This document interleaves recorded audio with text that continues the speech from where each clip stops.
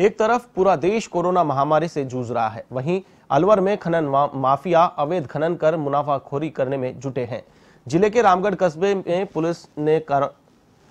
कार्रवाई करते हुए एक ट्रैक्टर को जब्त कर चालक को गिरफ़्तार किया है। एसआई रामकिशोर ने बताया कि नाकेबंदी के दौरान अवैध परिवहन करते ट्रैक्टर ट्रॉली को जब्त कर चालक को गिरफ़्तार किया गया है।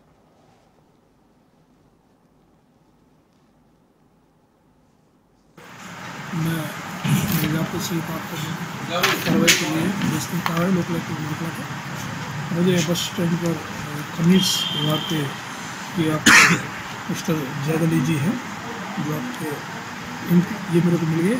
इन्होंने कहा कि जो खमीस कार्रवाई करनी है तो वो सूचना है। चलो उनके साथ साथ हम दिवाली पहुँचे। वहाँ पे ट्रैक्टर जिसका तेजा पत्ता भरा हुआ था, उसको ट्रैक्टर बिना नंबर था। जिससे से खबर वगैरह पूछा तो उसके पास कोई कागजात नहीं थे इसके बाद उसको ट्रैक्टर को आपको जो पूछताछ की उसके में टेस्ट किया। और